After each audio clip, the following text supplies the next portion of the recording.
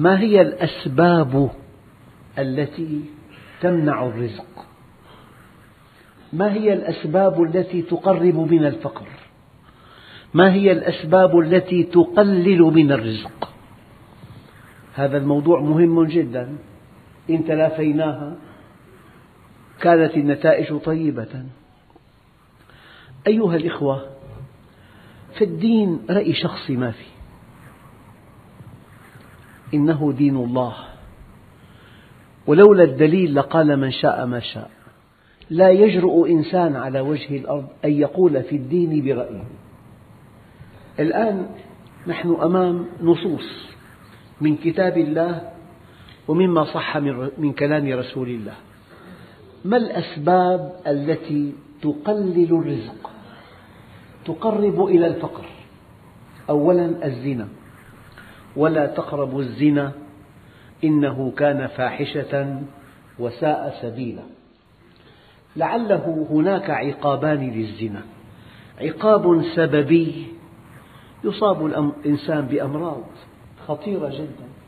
منها فيروس الإيدز الذي قضى على عشرات الملايين من أهل الأرض. في الآن تقريبا ستين مليون إنسان مصابون بهذا المرض وهم في طريقهم إلى الموت. فأحد أسباب انعدام الرزق أو قلته هو الزنا وللزنا عقابان. عقاب علمي. هو نفسه سبب لعاهة أو مرض خبيث أو فيروس أو ما شاكل ذلك. وعقاب وضعي. يقول عليه الصلاة والسلام إياكم والزنا. فإن فيه أربع خصال. يذهب البهاء من الوجه ويقطع الرزق ويسخط الرحمن. يذهب البهاء من الوجه ويقطع الرزق ويسخط الرحمن. ثم الخلود في النار. وعن علي بن أبي طالب رضي الله عنه أنه نقل عن النبي صلى الله عليه وسلم قوله في الزنا ست خصال ثلاث في الدنيا وثلاث في الآخرة. أما اللواتي في الدنيا فيذهب ببهاء الوجه ويورث الفقر وينقص العمر وأما اللاتي في الآخرة فيورث السخط وسوء الحساب والخلود في النار. هذا الحديث في شعب الإيمان للبيهقي. صدقوا أيها الإخوة وقع تحت سمعي قصة أن رجلين ممن يعملان في طلاء السيارات في هذا البلد. ذهبا إلى ألمانيا ليستوردا سيارتين. قصة قديمة. وعادا بالسيارتين برا. نزلا في فندق في بلدة من بلدان أوروبا الشرقية. يقول لي أحدهما بعد الساعة الثانية عشرة طرق باب الرجلين. من قبل امرأتين. الأول فتح الباب والثاني قال إني أخاف الله رب العالمين. ثم وصلا إلى الشام. الأول في صعود والثاني في هبوط. الثاني ضاقت الأحوال به باع محله طلق زوجته. والأول والله أعرفهما تماما. والأول في صعود مستمر. أنا مؤمن إيمانا قطعيا أن أحد أسباب الفقر الزنا. هذا الحديث الشريف يقول عليه الصلاة والسلام فيما رواه ابن عمر رضي الله عنهما الزنا يورث الفقر. هذا عقاب وضعي يعني الله بفعله يجعله فقيرا. أما الزنا نفسه سبب علمي لأمراض خبيثة منها فيروس الإيدز. أيها الإخوة طبعا فقر ذات اليد وفقر القلب الزاني محجوب عن الله عز وجل. وقع في فاحشة. ولا تقربوا الزنا إنه كان فاحشة وساء سبيلا. ما قال ولا تزنوا؟ قال ولا تقربوا الزنا. أي شيء يفضي إلى الزنا فهو محرم. فالخلوة بالأجنبية محرم. صحبة الأراذل شيء محرم. إطلاق البصر محرم. متابعة أشياء إباحية في الإنترنت وفي الفضائيات محرم لأن هذا طريق إلى الزنا. هذه الشهوة تشبه صخرة في قمة جبل متمكنة في مكانها. فإذا دفعتها وظننت أنك تريد أن تدفعها لمتر واحد في المنحدر لن تستقر إلا في قعر الوادي. الأمر ما عاد بيدك ولا تقربوا الزنا. يعني النهي ليس عن الزنا بل النهي عن أسباب الزنا. الخلوة إطلاق البصر الاختلاط صحبة الأرازل الإثارة المستمرة هذه تنتهي إلى الزنا. أيها الإخوة السبب الثاني للفقر نقص المكيال والميزان. استمعوا إلى حديث رسول الله صلى الله عليه وسلم وكأنه بيننا.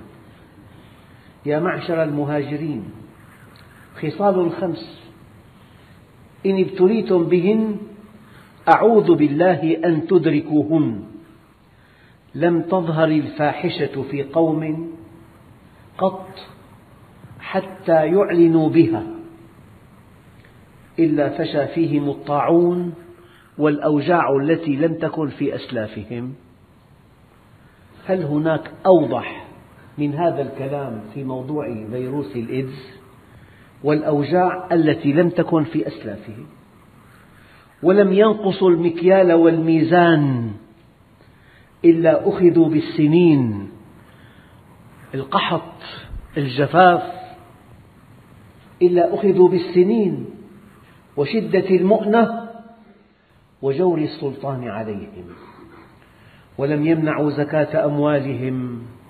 إلا منعوا القطر من السماء. ولولا البهائم لم يمطروا ولم ينقضوا عهد الله وعهد رسوله إلا سلط الله عليهم عدوهم فأخذوا بعض ما كان في أيديهم. بكل حرب في الشرق الأوسط تنتقل مئات مليارات العملة الصعبة من الشرق إلى الغرب إلا أخذوا بعض ما في أيديهم وما لم يحكم أئمتهم بكتاب الله عز وجل إلا جعل الله بأسهم بينهم. حروب أهلية. هذه المعصية الثانية نقص المكيال والميزان والحكم بغير ما أنزل الله أحد أسباب الفقر. نحن مع حديث رسول الله الذي لا ينطق عن الهوى ومع القرآن الكريم كلام رب العالمين. المعصية الرابعة منع الزكاة. قال عليه الصلاة والسلام ما نقض قوم العهد قط إلا كان القتل بينهم. بالمناسبة في آية دقيقة جدا قل هو القادر على أن يبعث عليكم عذابا من فوقكم. هذه الصواعق. والآن الصواريخ. أو من تحت أرجلكم. هذه الزلازل والآن الألغام. أو يلبسكم شيعا. الحروب الأهلية ويذيق بعضكم بأس بعض. ما نقض قوم العهد قط إلا كان القتل بينهم ولا ظهرت الفاحشة في قوم قط إلا سلط الله عليهم الموت ولا منع قوم الزكاة إلا حبس الله عنهم القطر. في إحصاءات قد لا تصدقونها. خمسة بالمئة فقط من أغنياء المسلمين يدفعون زكاة أموالهم. خمسة بالمئة فقط. وفي حديث آخر يقول عليه الصلاة والسلام ما منع قوم الزكاة إلا ابتلاهم الله بالسنين. أول سبب الزنا. الثاني نقص المكيال والميزان والحكم بغير ما أنزل الله. الثالث منع الزكاة. الرابع الربا. يقول عليه الصلاة والسلام ما من قوم يظهر فيهم الربا إلا أخذوا بالسنة أي بالفقر. وما من قوم يظهر فيهم الرشا إلا أخذوا بالرعب. الربا يؤدي إلى الفقر والرشا تؤدي إلى الرعب. يا أيها الذين آمنوا اتقوا الله وذروا ما بقي من الربا إن كنتم مؤمنين فإن لم تفعلوا فأذنوا بحرب من الله ورسوله. وإن تبتم فلكم رؤوس أموالكم لا تظلمون ولا تظلمون. وقد روى ابن عباس رضي الله عنهما عن رسول الله صلى الله عليه وسلم أنه قال إذا ظهر الزنا والربا في قرية فقد أحلوا بأنفسهم عذاب الله. الزنا والربا. الآن المعصية السادسة التي تؤدي إلى الفقر؟ قال اليمين الكاذبة. قال عليه الصلاة والسلام اليمين الفاجرة تذهب المال أو تذهب بالمال. أن تحلف يمينا كاذبا؟ هذه اليمين الكاذبة سبب عند الله للفقر. واليمين الغموس تذهب المال وتذر الديار بلاقع خريبة. تذهب المال وتذر البلاد بلاقع. وبعض التابعين قال لأحد التجار يا عبد الله اتق الله ولا تكثر الحلف فإنه لا يزيد في رزقك إن حلفت ولا ينقص من رزقك إن لم تحلف. لا داعي أن تحلف. هذه الحاجة سعرها كذا. الله تعالى هو الرزاق. ويقول عليه الصلاة والسلام إياكم وكثرة الحلف في البيع فإنه ينفق ثم يمحق. الشاري قد يخجل منك يشتريها البضاعة بأيمان مغلظة. يشتريها لكن الله يمحق لك هذا المال وفي حديث آخر الحلف منفقة للسلعة ممحقة للبركة. لا تحلف. كان الإمام أبو حنيفة رضي الله عنه يتصدق بدينار عن كل يمين حلفها صادقا. صادقا. فكيف إذا كان كاذبا؟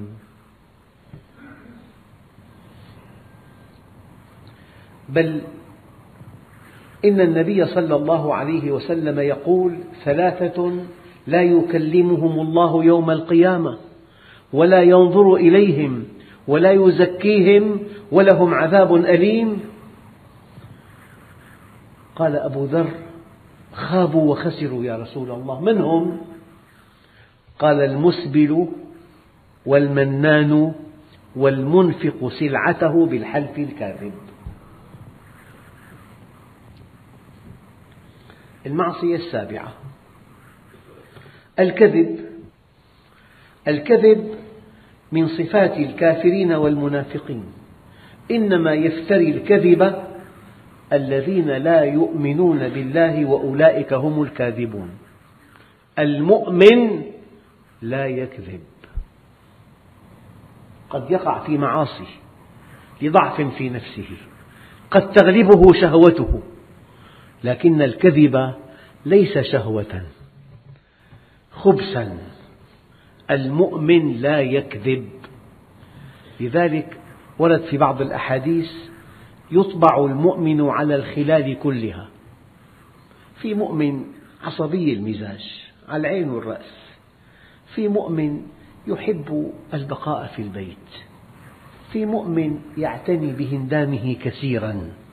في مؤمن هندامه أقل من غيره. في مؤمن يحب آه، الاختلاط مع الناس. في مؤمن يؤثر العزلة. هي طباع. يطبع المؤمن على الخلال كلها. إلا الكذب والخيانة. فإذا كذب وخان ليس مؤمنا. المؤمن لا يكذب. أيها الإخوة الكرام ثلاثة لا يكلمهم الله يوم القيامة ولا ينظر إليهم. رجل حلف على سلعة لقد أعطي بها أكثر مما أعطي وهو كاذب. ورجل حلف على يمين كاذبة ليقتطع بها مال رجل مسلم ورجل منع فضل ماء فيقول الله اليوم أمنعك فضلي كما منعت فضل ما لم تعمل يداك. لذلك حتى في الإعلانات التي توهم بخصائص للبضاعة ليست فيها. التي توهم بأنها من مصدر معين وهي من مصدر آخر. التي توهم أن فيها هذه الخصائص وهي ليست فيها. أيها الإخوة أن تضع علامة تجارية لسلعة ليست من هذا المعمل قضية سهلة جدا الآن في معامل بأعلى مستوى من التقنية. توضع العلامات التجارية الرائجة على سلع من مستوى منخفض جدا وتباع هذه السلعة بهذه الطريقة. لذلك قال عليه الصلاة والسلام الكذب ينقص الرزق. هل هناك أوضح من هذا؟ الكذب ينقص الرزق. والبيعان بالخيار المشتري والبائع ما لم يفترقا فإن صدقا وبينا بورك لهما في بيعهما. أنت حينما تخفي عيبا في بضاعة الله عز وجل يتولى معاقبتك. والله إنسان أعرفه. عنده مركبة فيها عيب خطير في المحرك. فباعها وتمكن أن يخفي هذا العيب. وقال لي والله بالحرف الواحد لبست لواحد. ظن نفسه شاطر ذكي. في عيب خطير في المحرك. كتم هذا العيب وأوهم الشاري أن هذا المحرك طبيعي جدا.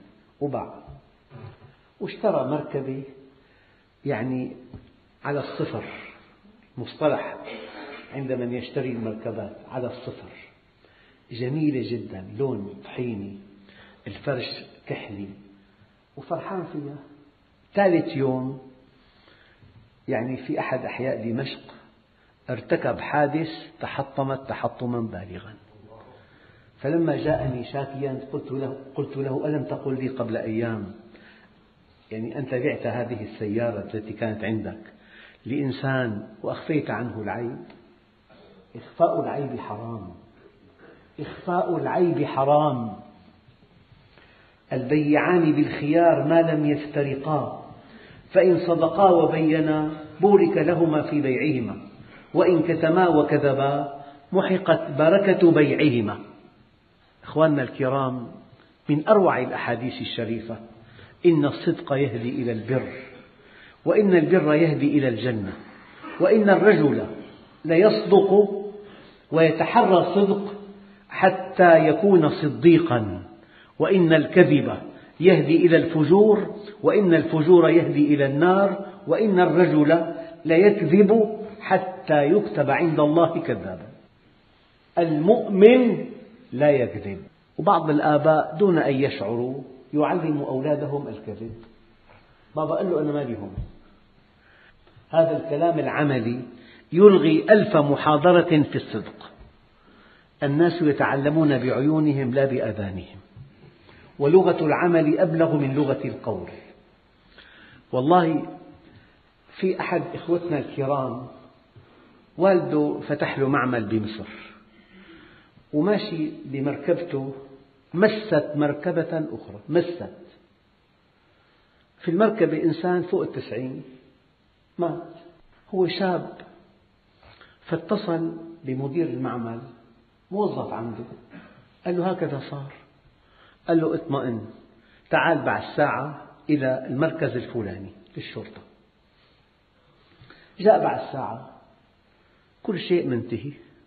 الضبط بخلاف الواقع. تلك السيارة التي فيها من مات هي التي ضربته. قال له وقع المسؤول. قال له أرى؟ قال له لا. الذي حصل خلاف ذلك. قال له وقع. وامضي. قال له لا أوقع. قال له عجيب. أول مرة إنسان أنا أخلصه وهو يوقع بنفسه. قال له أنا لا, لا أريد أن أنجو منك. أريد أن أنجو من الله. لا أوقع إلا على الذي حدث. وقع أنه هو الذي تسبب ودفع الدية وعين أولاده في المعمل موظفين. أريد إنسان كهذا الإنسان. أريد مؤمن إيمانه صارخ. إيمانه يلفت النظر. لا نرقى إلا بهذا. لا أوقع. هذا كلام فيه زور. أنا الذي صدمته. ما دمنا صادقين ما دمنا نتحرى العدل الله ينصرنا. فإذا ظلم بعضنا بعضا الله يخذلنا. والله أنا أعتز بهذا الإنسان. يلي أتيحت له فرصة أن ينجو من كل مسؤولية لكنه تربى تربية إيمانية عالية. قال له أنا لا أوقع. لا أوقع إلا على الذي حدث. بدفع الثمن. أيها الإخوة معصية أخرى هي الاحتكار. من احتكر على المسلمين طعاما ضربه الله بالجذام والإفلاس. هو أراد أن يمتع جسمه بهذا, بهذا المال الوفير. أراد أن يزداد ماله. جسمه أصابه مرض عضال. وماله أصابه الإفلاس. من احتكر على المسلمين طعاما ضربه الله بالجذام والإفلاس. أيها الإخوة الاحتكار أن تحبس بيع البضاعة ولا سيما البضاعة الغذائية التي يحتاجها الناس أن تحبسها من أجل أن يرتفع ثمنها. بس هل تصدقون؟ أنه كما يكون البائع محتكرا يكون الشاري محتكرا. كيف؟ يعني أنت تحتاج بالشهر إلى عبوة من غذاء معين. فشعرت في أزمة فاشتريت خمس عبوات. هذا المستهلك الذي يشتري فوق حاجته ويسبب نقص هذه البضاعة. محتكر أيضا. خذ حاجتك. لذلك قال عليه الصلاة والسلام من احتكر فهو خاطئ. من احتكر فهو خاطئ. إيه خاطئ مو مشكلة. اسمع إن فرعون وهامان وجنودهما كانوا خاطئين. كلمة خاطئ بالقرآن تعني أنه إلى جهنم وبئس المصير. إن فرعون وهامان وجنودهما كانوا خاطئين. من احتكر فهو خاطئ. وقال عليه الصلاة والسلام من احتكر طعاما أربعين يوما فقد برئ من الله تعالى. وبرئ الله تعالى منه. وقال عليه الصلاة والسلام الجالب مرزوق والمحتكر ملعون. لا تحتكر طعاما. ويقول عليه الصلاة والسلام من دخل في شيء من أسعار المسلمين ليغليه عليهم كان حقا على الله تبارك وتعالى أن يقعده في النار. من دخل في شيء من أسعار المسلمين ليغليه عليهم كان حقا على الله تعالى أن يقعده في النار. يعني الموظف له دخل محدود عشرة آلاف. رفعت عليه هذا السعر. أنت أرباحك زادت أما هذا صاحب الدخل المحدود سحقته. عنده أولاد عنده زوجة وشريف ومستقيم ما بيأكل حرام. أوقعته في حرج شديد. أنت ضاعفت أموالك أضعافا كثيرة لكنك أوقعته في حرج شديد. إياك أن تبني مجدك على أنقاض الآخرين. إياك أن تبني غناك على إفقار الآخرين. إياك أن تبني أمنك على إخافة الآخرين. إياك أن تبني عزك على إذلال الآخرين. إياك. الله كبير. الله بالمرصاد. الله عنده أورام خبيثة. عنده فشل كلوي. تشمع كبد خسرة بالدماغ. عنده أمراض تدع الحليم حيران. عنده عقاب يشيب لهوله الولدان. إياك أن تبني مجدك على أنقاض الآخرين. إياك أن تبتز أموالهم إياك أن تلقي الرعب في قلوبهم إياك أن تأخذ ما ليس لك. إله عظيم. من دخل في شيء من أسعار المسلمين ليغليه عليهم كان حقا على الله تعالى أن يقعده في النار. المعصية التاسعة الغش. أيها الإخوة يعني أنواع الغش تحتاج إلى خطب أنواع الغش. تغيير صفات البضاعة تغيير مصدر المنشأ البضاعة اللعب بالوزن بالكيل بالمساحة بالإيهام هذا كله يؤدي إلى فقر. الغش أحد أسباب الفقر. يقول عليه الصلاة والسلام غبن المسترسل ربا. المسترسل الجاهل بخصائص البضاعة.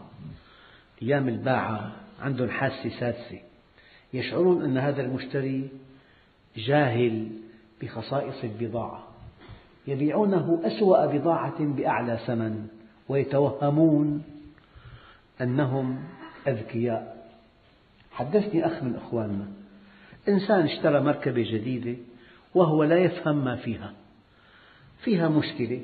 جاء إلى أحد المصلحين أعطاه وصفا خطيرا لعلة فيها وطلب مبلغ كبير والمدة ثلاثة أيام وإصلاح المركبة يحتاج إلى دقيقة واحدة ولا يكلف شيئا. فأول يوم أخذ أهله بهذه المركبة إلى الزبداني وثاني يوم إلى الغوطة وثالث يوم إلى طريق المطر فقال له جاره يا رجل اتق الله. القضية بتكلفك ربع ساعة. دقائق. ثلاثة أيام ومبلغ كبير جدا. قال له هكذا العمل. أنا الذي أعمل صح. له ابن دخلت نسرة فولاذ يعمل في مخرطة في عينه. كلفته العملية تقريبا يعني شيء أربعين خمسين ألف ليرة. بلبنان. الصواقعية الله كبير من هو الغبي؟ هو الذي يتوهم أن الله لا يحاسب.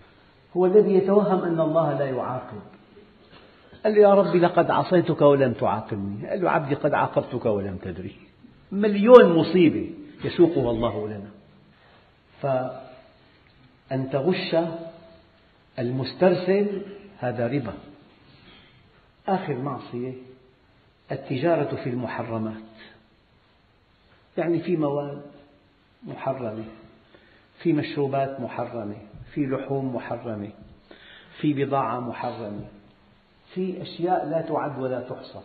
بمجرد أن تتاجر بالمحرمات وقعت في إثم كبير والله سبحانه وتعالى يريدنا أن نتعلم. تفقهوا. فمن دخل السوق من دون فقه أكل الربا شاء أم أبى. معرفة الأحكام الشرعية فرض عين على كل مسلم. ما الحلال وما الحرام؟ أيها الإخوة الكرام حاسبوا أنفسكم قبل أن تحاسبوا وزنوا أعمالكم قبل أن توزن عليكم واعلموا أن ملك الموت قد تخطانا إلى غيرنا وسيتخطى غيرنا إلينا فلنتخذ حذرنا. الكيس من دان نفسه وعمل لما بعد الموت والعاجز من أتبع نفسه هواها وتمنى على الله الأماني والحمد لله رب العالمين.